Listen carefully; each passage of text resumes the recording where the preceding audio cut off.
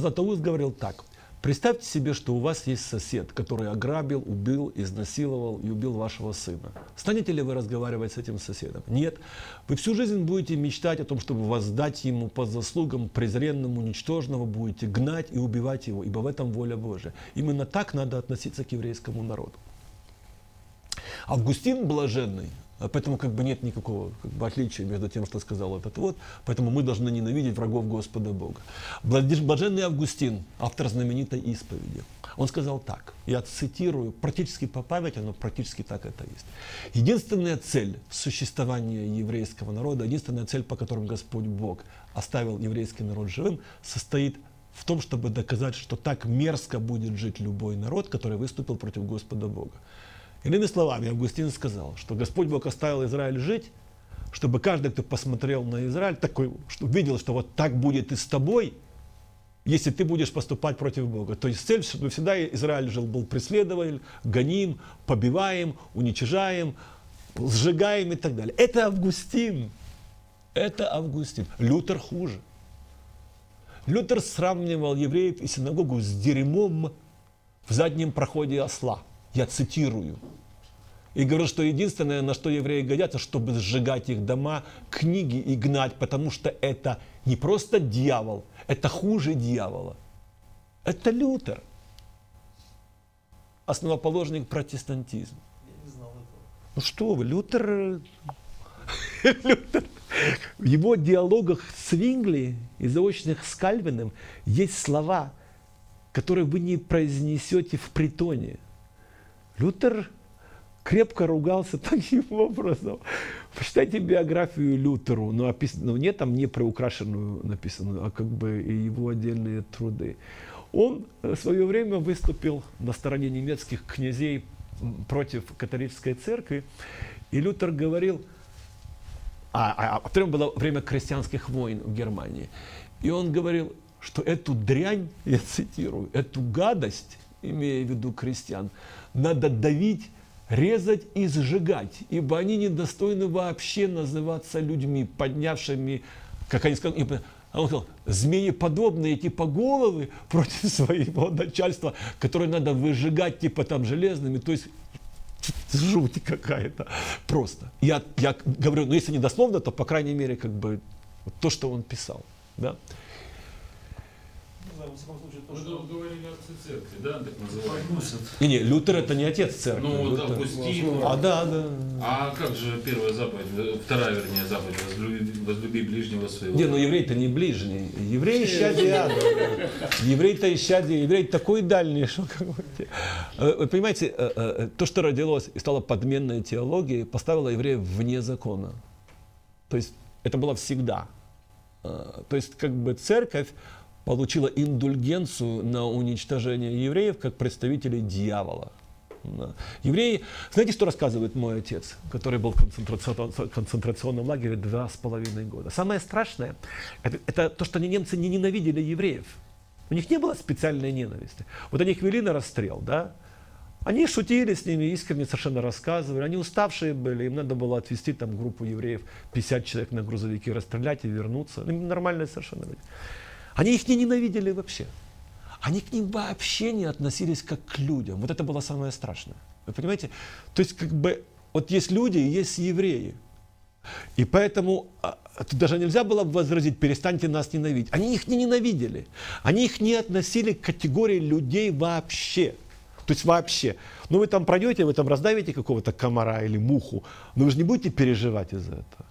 Вот это было самое страшное, к этому невозможно было апеллировать. Знаете, когда вы меня ненавидите, я могу сказать, это стыдно, вы должны любить. Но когда у вас нет никакой специальной ненависти, они как бы пришли, сделали свое дело, вернулись и забыли про это благополучно. Это было самое страшное на самом деле. То есть, получается, если формально э, Христос еврей, еврей для нас никто, значит, Христос не ближний? Они говорят, что Христос был евреем но отказался от еврейства. Смотрите, на самом деле это та мысль, от которой недалеко ушла современная церковь. Потому что я еще раз говорю, в тот момент, когда еретически мы забываем, что Христос был не только Богом, но и человеком, А мы относимся, вот посмотрите, во всех наших молитвах, во всех наших разговорах, мы к Нему относимся конкретно как к Богу. И это правда. Но мы абсолютно забываем в наших разговорах о Христе полностью выхолощена или на 99% его человеческая составляющая. То есть тот момент, когда мы убрали из него еврейскую составляющую, мы как бы сказали, это не имеет никакого значения. Ни для Писания, ни для будущего, ни для Иисуса, ничего. Вы знаете, к чему это приводит? Реакционно, то есть как евреи на это реагируют, это приводит вот к чему. У меня есть друг один. Да? Его мама, она очень невежественная, как бы, и она, по-моему, читает с трудом, даже по-русски, не говоря на иврите. Она сказала так, а, она говорит, она старенькая, старенькая ей уже. Она говорит, я знаю, знаю, кто такой Христос. Он родился евреем, а потом стал русским. Она еврейка, да?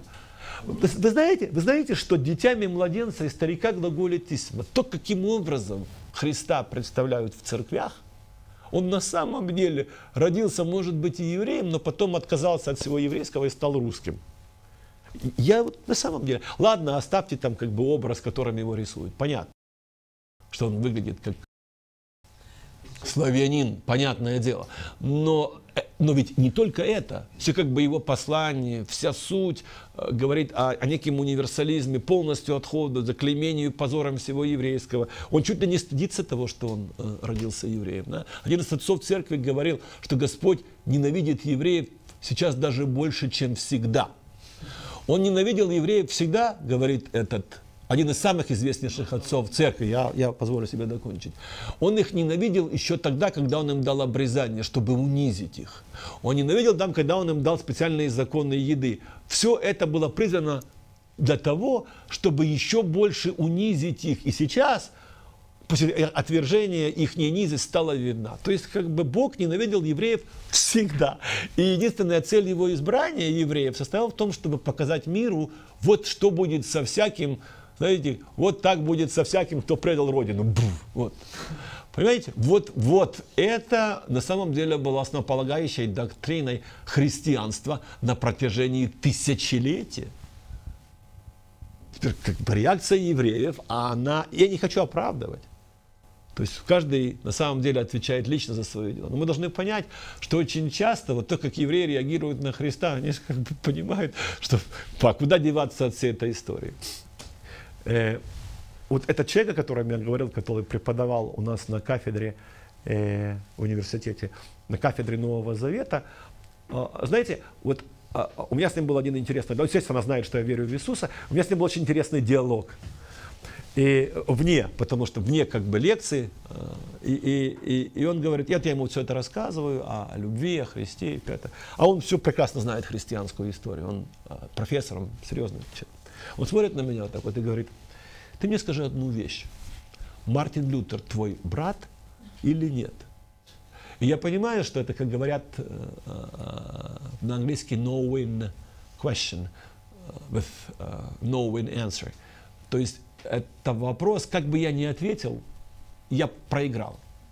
Если я ему скажу, что Мартин Лютер не мой брат, то я беру на себя как бы ответственно сказать, типа, что он не христианин, и что я выступаю в роли Иисуса Христа, что я не хочу, потому что, может, Мартин Лютер покаялся. Если же я ему говорю, что Мартин Лютер мой брат, это тоже как бы говорит, ну, все понятно, о чем еще говорить.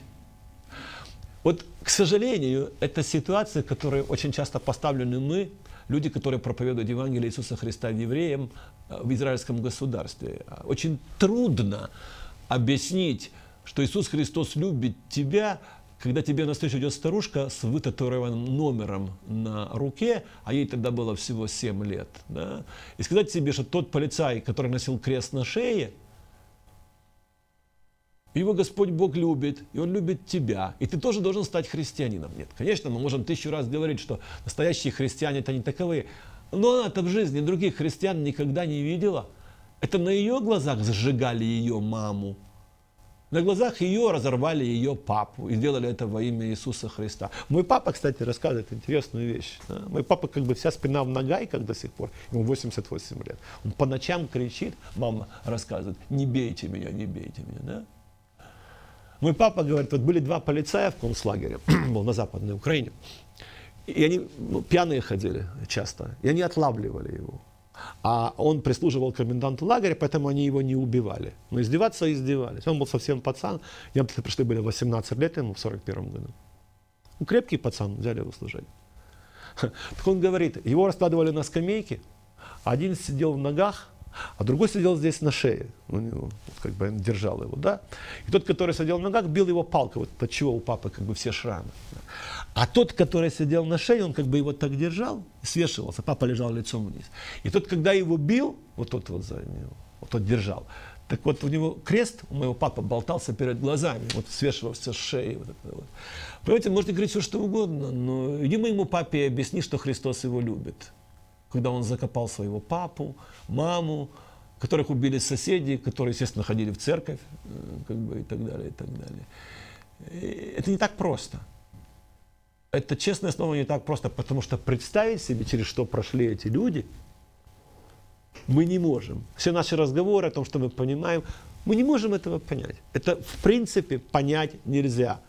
Меня есть друг, ему сейчас уже под 90, это папин, собственно, друг. Он простоял два года в Освенциме возле камер, в которых сжигали трупы. Мы привозили из, из газовых камер, знаете, поток, конвейер, день и ночь. И там крематории и, и, и сжигали вот эти детские тельца, женщин, детей. Разве мы можем себе представить, что чувствует человек, который два года, день и ночь сжигал человеческие раздетые, изможденные тела. Вот можем мы это себе представить? Нет, не можем. Вот что бы мы ни говорили. Можем говорить, это, наверное, трудно, но мы не можем этого понять. Что происходит с душой человека, с его мозгами, с его сердцем, как оно ожесточается. Поэтому нам остается самое лучшее, что мы можем сделать с такими людьми, это поступить подобно друзьям Иова. Сидеть и молчать и слушать их, и молча. Вот когда я ему говорю о Господе, вы знаете, он мне даже не возражает. Он говорит, да, да, конечно, конечно. Дорогие мои, это очень трудно, это невозможно понять. Я стою посреди этой камеры, знаете, в которой как бы тысячи людей э, травили в Освенциме. Я стою, взрослый мужик, плачу. Мне кажется, что камни кричат – все представите, это невозможно себе даже представить. Невозможно представить себе, как самая цивилизованная нация в Европе, мы говорим, о, жизнь становится лучше, человечество становится умнее, разумнее, добрее. Да неправда все это. Знаете, каким образом известно, что во время войны погибло 6 миллионов евреев? Это же уму непостижимо. Представьте себе война, немецкая нация. Министерство, гестапо ответственная непосредственно за уничтожение евреев, покупала билеты на каждую жертву, которую оно перевозило в вагонах, у Министерства транспорта и хранила все эти билеты для отчетности. Мы знаем, сколько людей въехало в концентрационные лагеря, потому что это была работа. Вписывался билет без плацкарты на одну голову, которая или доезжала, или не доезжала. И если не доезжала, его саживали, то платили меньше. Это чудовищно, вы понимаете? Это просто чудовищно, когда людям, даже и это, это были не люди. И в то же самое время они ходили в церкви, любили своих жен, детей, Комендант лагеря, которым был мой папа, он так любил свою жену, она так любила его, что она проехала весь путь из Германии и жила с ним в этом же лагере.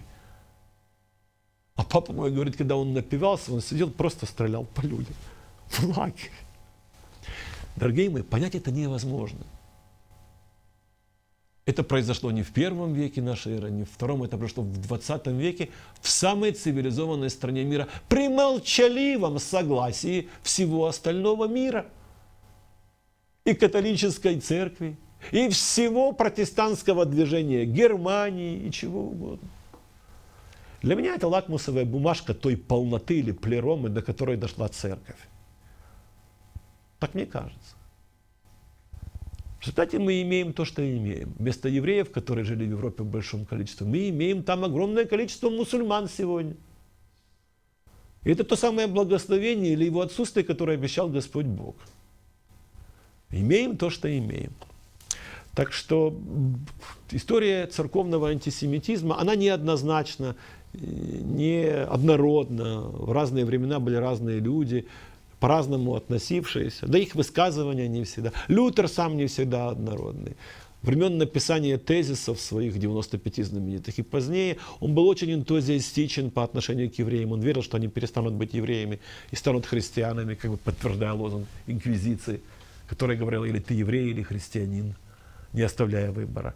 Но это было в начале. Некоторые э, э, еврейские общины Европы чуть ли не объявляли Лютера мессию, мессией, потому что он требовал равноправия для евреев. Но мотивация его была очень странная. Он хотел, чтобы они наконец-то перестали быть евреями, чтобы они наконец-то стали христианами. И он не верил, что ты можешь, оставаясь евреем, быть христианином. Он говорил или-или. Поэтому его задача была не столько преобразовать их в христианство, хотя выглядело таким образом, как только увести их от еврейства. Все он понимал, что либо ты иудей, либо эллин, либо ты еврей или христианин. То есть, если ты оставляешь еврейство, ты обязательно должен пойти в христианство. И это не то, что, как бы, естественно, было планом Божьим. Вот. А, поэтому мы должны быть очень как бы, чувствительны к проблемам историческому, э, историческому наследию, которое есть у еврейского народа. Не так все просто не так все просто. Наша чувствительность и любовь должна выражаться в том, что мы должны попытаться понять э, других людей. Других людей. Моя бабушка, которая уже умерла, которая единственная осталась жива из всего семейства, ее брат э, значит, э, изнасиловали, изнасиловали его жену. Немцы пришли в небольшой городок, в котором они жили. Он э, забежал, схватил винтовку и застрелил немца. За что его привязали к двум танкам и на глазах как бы всего семейства просто разорвали на два куска. А заодно разорвали и продавили танками еще шестерых из всего семейства. Бабушке удалось как бы бежать, она подвинулась, э, ну не знаю, ментальностью, естественно. Вышла замуж, правда, потом навсегда, я ее сколько помню, она умерла в 87 году, уже много лет назад. Как вы думаете, может человек с этим жить? Как бы, это же невозможно. Наши представления, они же как бы не... Моя бабушка вспоминает еще погромы христианские, э, дореволюционные. Она помнит, когда приходили петлюровцы, а, она вспоминала, когда она была молодой девушкой, и они как бы шли после церкви в воскресенье, жрали водку, а потом разбегались по еврейским хатам, насиловали девушек, а бабушка совсем была молодая, она ходила в белом платье, платье ее скинули, знаете, какие были туалеты, ямы выгребные. Ее туда прямо вот как бы скинули, и она переждала и выбралась как-то оттуда. И для моей бабушки это навсегда были христиане. Она других не видела, не знала. А, собственно, как бы номинальных-то христиан, давайте согласимся, в мире-то все-таки большинство – это именно те, кто представляют христианство. Нравится нам это или, или нет. Не говоря уже о огромном количестве протестантизма, которые сочувствуют э, вот таким э, номинальным христианам. Поэтому э, я думаю, мы сделали еще одну лекцию на самом деле. На самом деле не лекцию, это просто исповедь моей души. Когда мы проповедуем Евангелие евреям, даже тем, которые агностикам, даже тем, которые не верят, даже тем, которые подмазываются под страдания еврейского народа, даже тем, которые грешники законченные. Мы должны понимать, что у них есть либо настоящий, либо настоящее, либо формальное оправдание тому, почему они не принимают Иисуса Христа. Очень трудно объяснить человеку, что он должен стать христианином, если христиане формальные э, разорвали на куски его папу или маму. Мой папа до сих пор не может найти могилу, где он похоронил свою маму и папу. И все. А для меня это дедушка и бабушка, которых я никогда не знал. А для него это мама и папа, которые взрастили его. Мамочка, папочка, и все тут. Он было 18 лет, он пришел домой, они мертвые на полу лежат. Оба. Соседи, хупс, пришли и убили. Почему убили? Ну, жиды, потому что. И не немцы, а местные христиане. Поэтому Почему я все это говорю? Потому что на самом деле, когда мы подходим и говорим евреям, покайтесь, станьте христианами, даже терминология неприемлема. Уже не говоря о том методологии, которую мы используем. Да? Надо быть искусным сердцем и любить людей, которым мы проповедуем. Вот на самом деле их любить. Тогда у нас есть шанс. Мы должны восстановить кредит доверия, который был и который во втором главе Деяний апостолов – зафиксирован, как церковь находился в любви у всего народа. А у какого народа, простите? Во второй главе Деяния апостолов речь идет о еврейском народе, потому что в Иерусалиме другого-то народа не было. Да и церкви-то кроме еврейской не было. И тогда, потому что они находились в любви, Господь ежедневно предлагал спасаемую церковь. А сегодня мы должны признать, что церковь не находится в любви ни у еврейского народа, ни у какого другого народа. По разным причинам. Аваль, но на иврите. Фактом есть, как говорят поляки. Фактом является простая вещь, что церковь не находится сегодня в любви у всего народа. По ряду объективных и субъективных причин. И наша цель должна быть восстановление вот этого статуса кво, который был основан с самого начала и который предполагал, что наилучшей формой евангелизации будет моя собственная жизнь, открытая и явленная другим в любви. Любовь, кстати, на иврите это не существительное, а глагол. Важная вещь. То есть инертно не глагол, это глагольное существительное да, любление, вот, то есть как бы любовь, которая не, не, не реализуется, а знаете, вот тут большое чувство, это не любовь с точки зрения э, этимологической э, иврита. Точно так же, как и вера и надежда. Это отглагольные существительные. Понравилась лекция? Вдохновились услышанным? Поддержите нас молитвой и финансами.